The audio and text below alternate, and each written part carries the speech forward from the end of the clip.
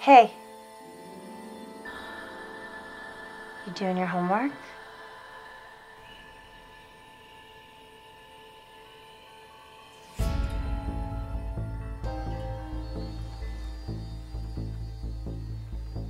Can I ask you something?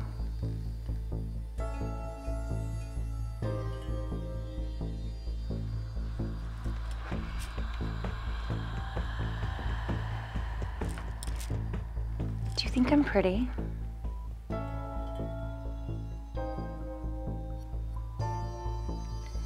What's your favorite part about me?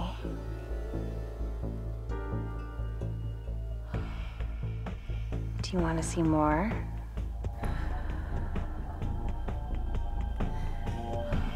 I can show you whatever you want. Honey, dinner's almost ready. What's wrong? Nothing. Okay, we'll finish up what you're doing and come on downstairs. Okay.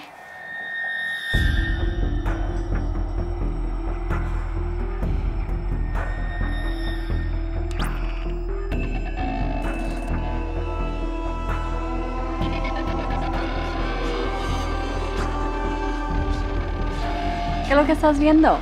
Um, um, nada, es eh, solo un programa de televisión. Oh, ok, voy a ver hasta la cena, ¿ok? Ok.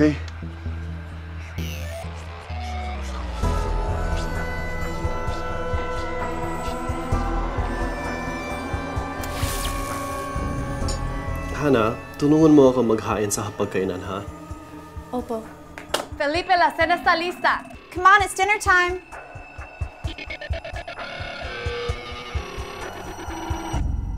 Dear Heavenly Father, thank you for keeping our family safe.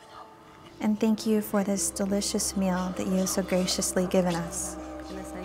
And thank you for keeping our family close and so full of love for each other. los abuelos que tenemos en la Thank you for familia, que los cuiden mucho. Y también que toda la gente que necesita ayuda, que los ayuden Dios. Y también para esta familia bien especialmente binaspasan para todos. Mapagmahal na asawa at dalawang mabuting anak na pinagkaloob ninyo sa akin.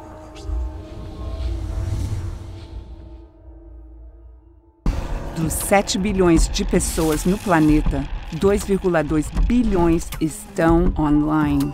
Há 247 bilhões de e-mails e 5 bilhões de mensagens de texto enviados a cada dia.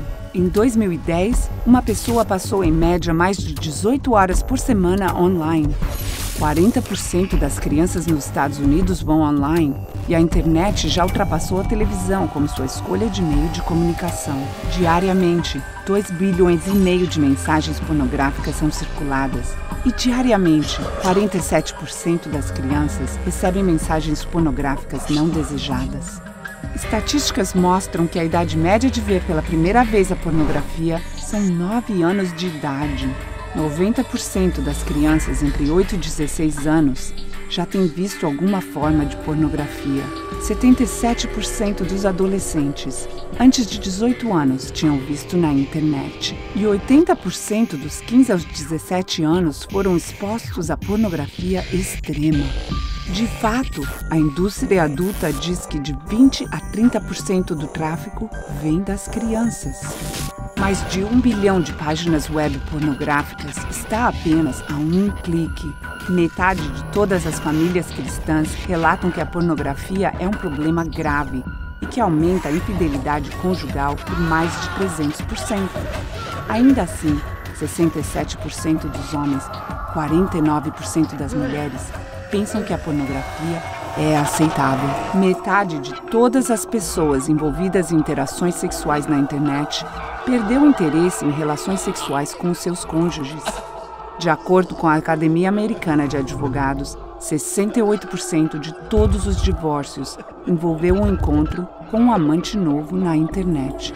Muitos pastores concordam que o apego pornográfico é a dependência mais prejudicial para sua congregação. Ainda assim, em uma pesquisa conduzida em 2002, 30% de todos os pastores viram a pornografia na internet nos últimos 30 dias. E mais da metade fizeram isso no ano passado. De acordo com uma pesquisa conduzida em agosto de 2006, 20% das mulheres sofrem da dependência à pornografia. Mas há uma saída. Há lugares dedicados a restaurar famílias desfeitas e a educar os pais.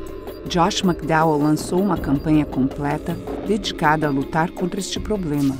JustOneClickAway.org tem recursos e treinamento se você está sofrendo com esta dependência. A esperança está apenas a um clique de distância. Para mais informação, visite justoneclickaway.org.